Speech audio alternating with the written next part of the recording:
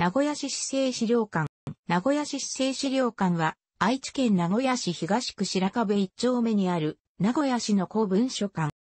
名古屋城からは少し離れているが、名城公園の一部として扱われている。建物、旧名古屋高祖院地方裁判所裁判所庁舎は、重要文化財に指定されており、名古屋市が設定する文化の道の起点に位置づけられる。1922年に建設された旧名古屋高祖院、地方裁判所区裁判所庁舎を利用して、1989年、平成元年10月、同年4月に制定された名古屋市市政資料館、設置条例の施行により、同条例一条によって設置され、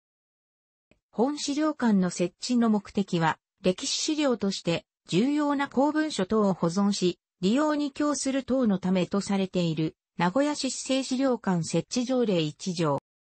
同条例2条1項により、本資料館は以下の事業を行うものとされている。なお、ここで言う、公文書等は、公文書館、法2条の定義による。また、同条例2条2項により、本資料館は、さらに次の事業を合わせ行うものとされている。閲覧室、2階南西は、名古屋市市政資料館の中心的な機能である、公文書館としての役割を果たしている。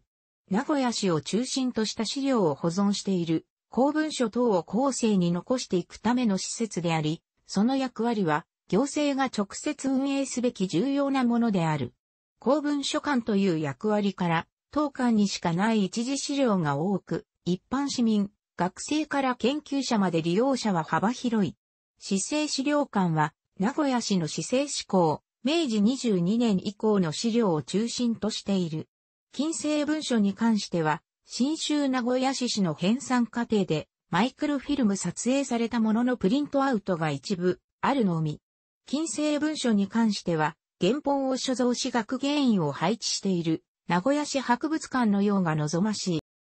レファレンス対応はしていない。電話やメールでの資料、情報の問い合わせも対応していないので注意。閲覧は無料。大部分の資料は閉化で資料保存のため、館外貸し出しは行っていない。一部に個人情報保護などのため利用できない資料がある。資料の複写は有料で可能だが、一部に複写不可の資料もある。複写の代わりに撮影機器持参で資料を撮影することも認められている。図面などの傷みやすい資料については、資料保護のためカメラでの撮影が推奨されている。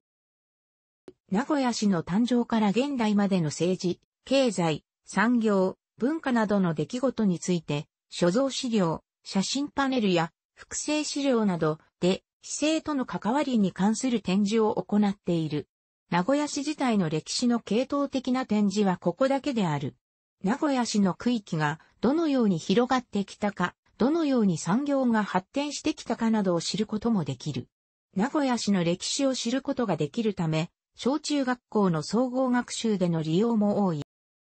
建物、旧名古屋高祖院地方裁判所裁判所庁舎は重要文化財に指定されており、外観や内部を創建当時の姿に復元し、建物の保存展示、及び資料展示を行っている。なお、玄関、中央階段室及び復元会議室以外の内装は重要文化財の指定対象外である。木製の窓枠は創建当時と同様の原料のペンキで塗装されており、補修のため数年ごとに塗り替えられている。2013年2月には南側、北側の窓枠の塗装が行われた。今回は創建当時の色に近づけられており、鮮やかな黄色となっている。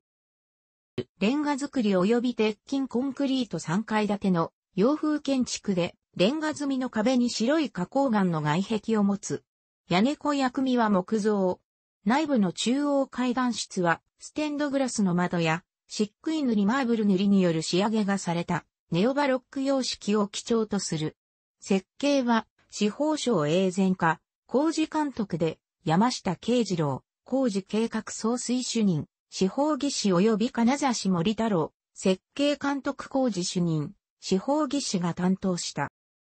レンガ造りとしては最末期の大規模近代、建築であり、現存する高祖院庁舎としては最古のものということもあって1984年5月21日に重要文化財の指定を受けた。日本全国に8つ建設された高祖院の建物のうち、現存するのは名古屋と札幌のみである。館内にある建物模型の正面には菊の紋章がついているが、建物自体にはついていない。ステンドグラスのある中央階段室、玄関や外観は全国ネットのドラマ、地元放送局の番組などの撮影でたびたび使用されている。NHK スペシャルドラマ、坂の上の雲では2回ロケが行われた。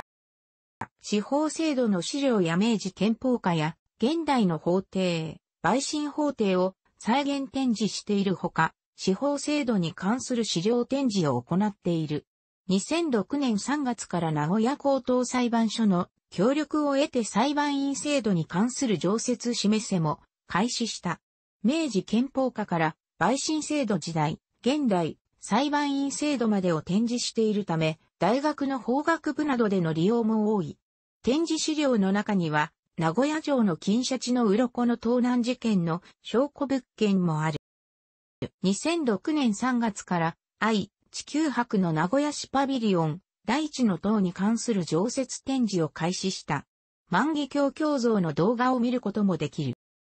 会議、集会、研究会、講習会及び作品展示など文化活動を行う場所を提供している。ただし、利用にあたっての制約事項が多くあるため、申し込む際に十分な確認は必要である。獅子本文編10巻は刊行済みで、本文編を読み解くための資料編11巻も刊行済みである。資料編、近代1、近世1、考古1、自然、民族、近代2、近世2、現代、近世3、考古2、近代3が刊行されており、市政資料館の事務室で購入できる。観光コースに組み入れられることが多く、大型バスでの来館は事前に日程調整が必要。駐車場スペースは少なく、満車になることが多いため要注意。満車の場合、近くのコインパーキングを利用することになる。楽しくご覧になりましたら、購読と良いです。クリックしてください。